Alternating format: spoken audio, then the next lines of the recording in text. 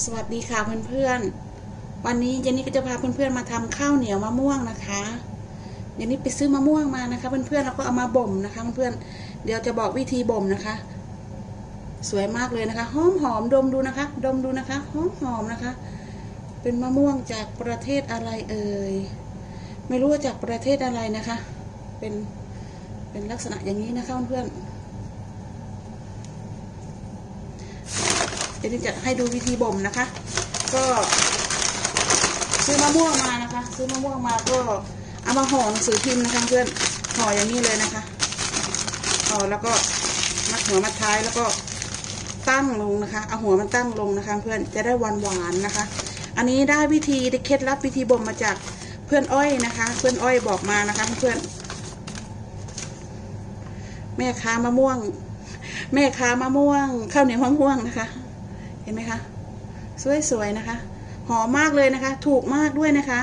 อ่าลูกละ 13 โครนนะคะยานิดซื้อมะม่วงไทยนะคะ 75 โครน แต่เน่านะคะเพื่อนกินไม่ได้เลยนะคะ ได้ทิ้งนะคะ แต่อันนี้ 13 โครนนะคะเพื่อน13 โครเนอร์ แต่สวยๆนะคะเพื่อนของถูกก็ไม่ใช่ว่าจะไม่ใช่ของดีนะคะ ของถูกก็ของดีนะคะเพื่อนๆ ของแพงนะของเน่านะคะเพื่อนๆเยนนี่ซื้อของแพงมาได้เน่านะคะ เพื่อนได้ทิ้ง มามาดูวิธีทำกันเลยนะคะ เดี๋ยวนี้ก็จะแกะมะม่วงให้หมดนะคะ ได้มาเจ็ดลูกนะคะ แต่ว่าเหลืออยู่หกนะคะเพื่อนกินไปซะแล้วหนึ่งลูกนะคะหนึ่งลูกนะคะหอมมากเลยนะคะ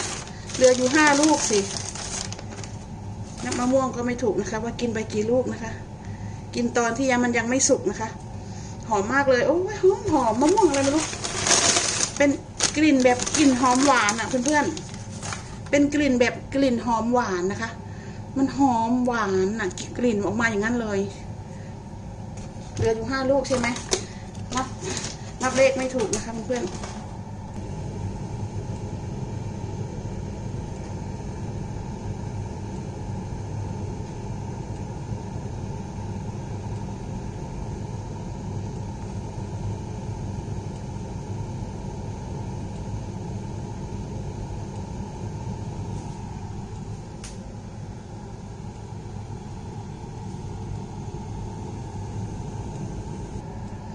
เราก็จะใส่มะกะทิมะพร้าวลงไปเลยนะคะเพื่อน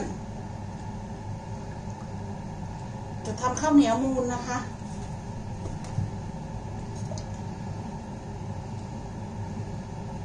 เราจะมามูนข้าวเหนียวกันนะคะเพื่อนแต่ว่าจะไม่ทำเยอะนะเพราะทำเยอะเราก็กินเยอะนะคะ เราก็จะทำน้อยๆนะคะเพื่อน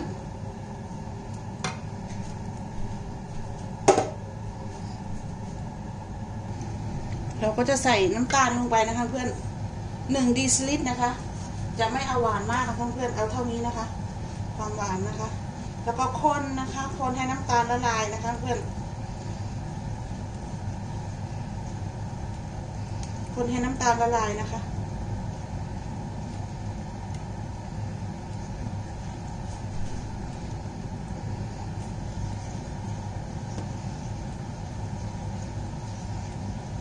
นี้อันนี้ไม่ได้เปิดไฟนะคะเพื่อนไม่ได้เปิดไฟนะคะ แค่คนให้น้ำตาลละลายเฉยๆนะคะ มาตั้งตรงนี้นะคะ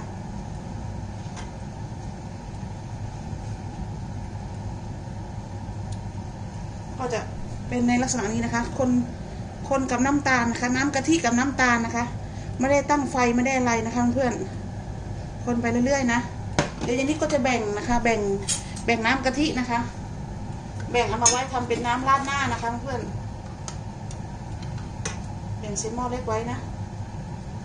เวลาเรากินเราก็จะได้มีน้ำกะทิราดหน้านะคะเพื่อน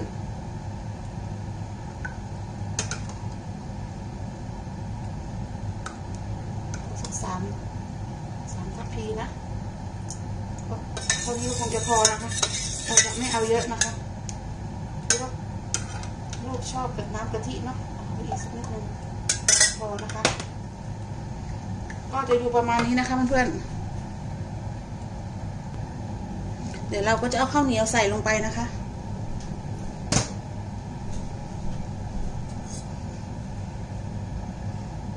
ตักเอาข้าวเหนียวที่เรานึ่งไว้นะคะเพื่อนใส่ลงไปเลย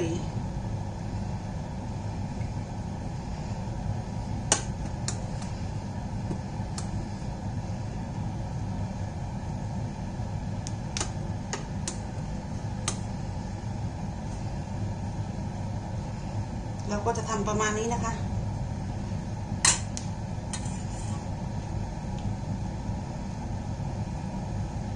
น้ำกะทิเยอะไปนะยังไม่ใส่มีกะทิเยอะไปเนาะใส่ข้าวอีก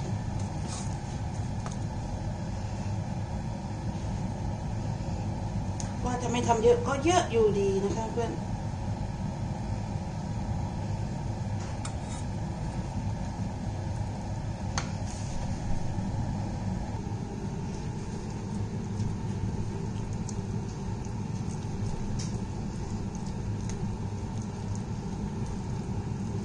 นนี้คือกะทิสดนะคะเพื่อน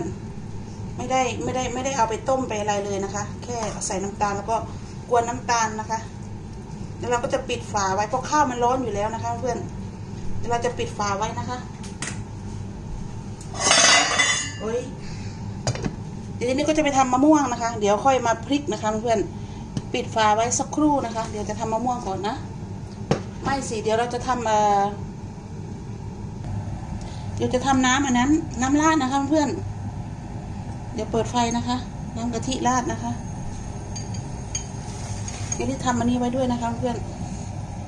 ถั่วถั่วเหลืองคั่วนะคะ ไว้โรยหน้านะคะเพื่อน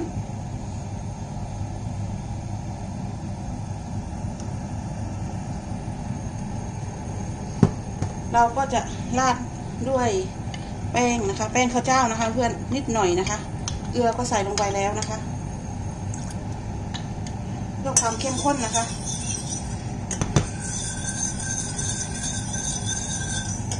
ใส่อีกสักนิดนะคะ ใส่เกลืออีกสักนิดนึง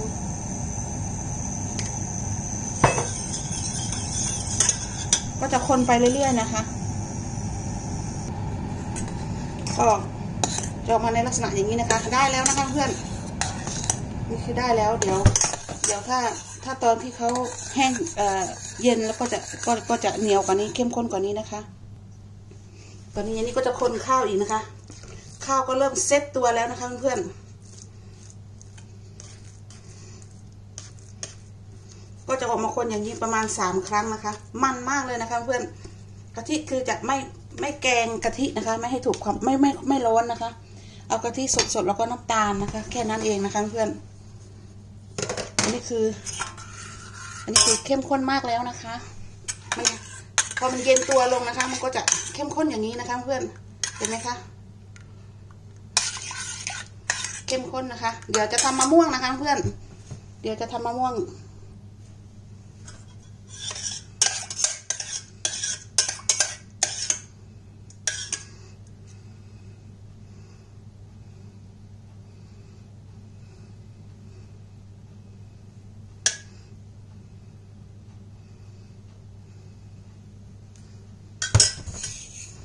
โรยด้วยถั่วนะคะ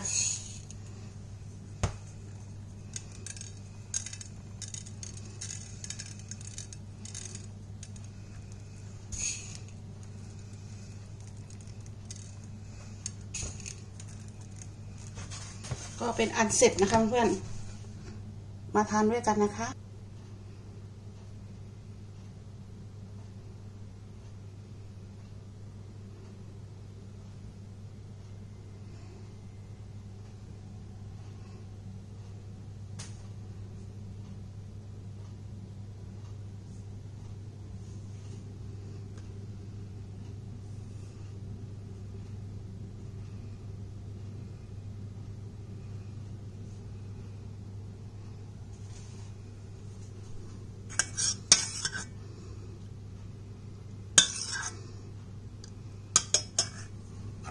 นี้คือข้าวเหนียวมูนนะคะ เหลือตั้งเยอะเลยนะคะเพื่อนมาทานด้วยกันค่ะ